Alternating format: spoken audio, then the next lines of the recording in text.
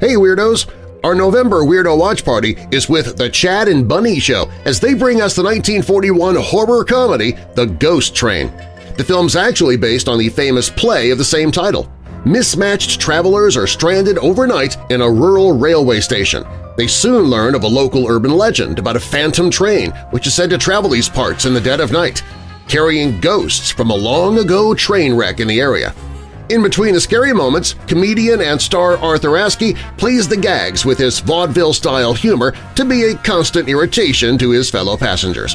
The Weirdo Watch Party is always free, so grab your popcorn, candy, and soda and jump into the live chat as we watch the movie along with a cheesy horror host.